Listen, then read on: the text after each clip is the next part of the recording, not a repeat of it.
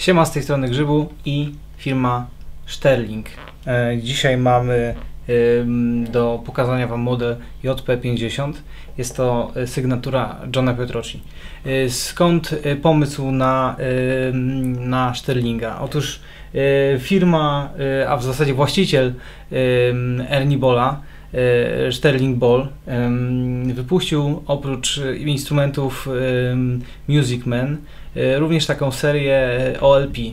Mm, Rozwiązanie tego skrótu to oczywiście Official e, Licensed Product i w tej serii wypuścił również instrumenty z wysokiej półki e, Musicmana e, w o wiele bardziej przystępnych cenach, oczywiście mm, nieco mm, nie tak mocne jakościowo jak e, oryginały.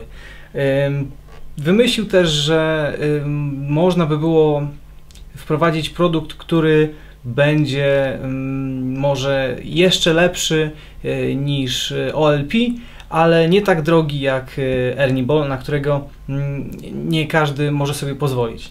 Stąd też pomysł na Sterlinga.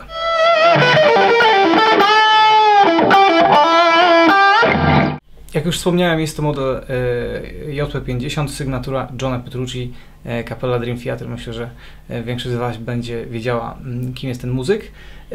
I generalnie polega to na tym, że gitara ma być jak najbardziej zbliżona do oryginału za o wiele mniejszą cenę. E, Zacznę właśnie od tej ceny.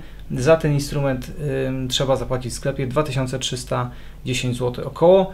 E, Gitara ma 24 e, progi, a wykończenie, które widzicie, to jest Pearl Red Bust. E,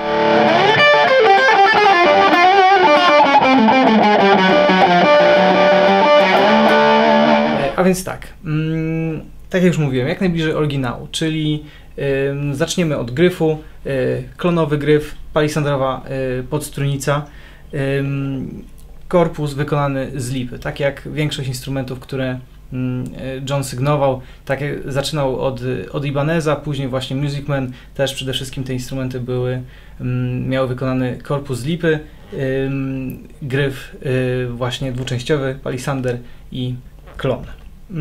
Kolejna rzecz. Pick-upy. A więc pick-upy w tym momencie ym, są już ym, wymyślone, specjalnie zaprojektowane przez y, Sterlinga. Są to dwa pick-upy y, o nazwie y, Sterling Modern.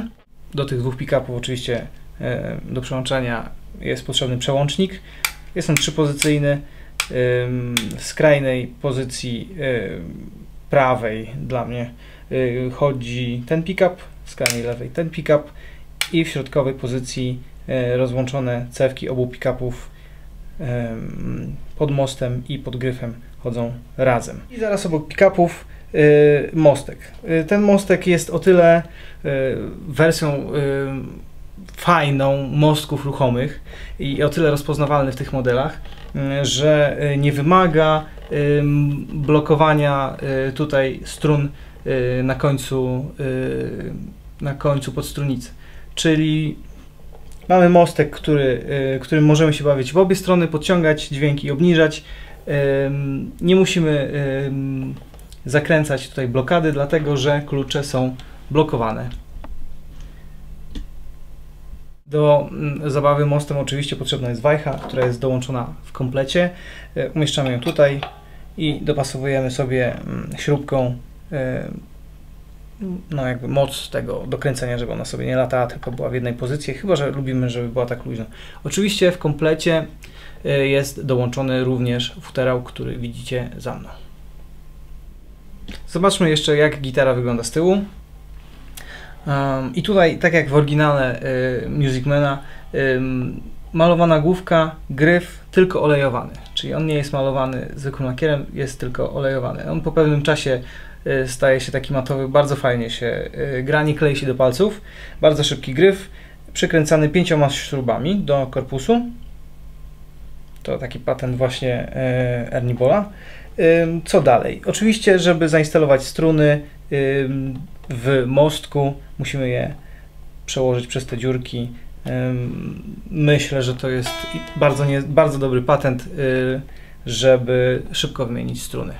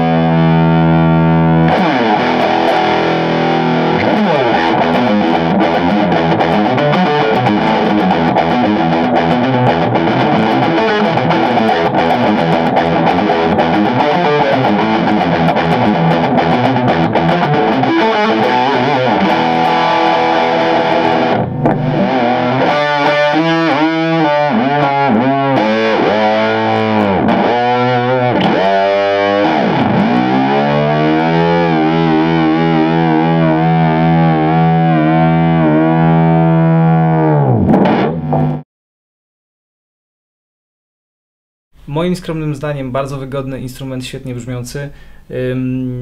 Firma sama, producent może tak, y, sam sugeruje, żeby to był instrument zastępczy, drugi instrument, y, tak zwany backup y, i myślę, że sprawdza się znakomicie. Również dla osób, które chciałyby posiadać oryginalny taki instrument, a na razie jeszcze ich nie stać, świetne rozwiązanie w, w tej cenie, są już bliżej oryginału, już bliżej się nie da tak naprawdę. Następna gitara to już jest oryginał, którego używa John. Grałem również na oryginalnym instrumencie, powiem Wam szczerze, że jeżeli chodzi o wygodę y, gryfu, jest identyczna.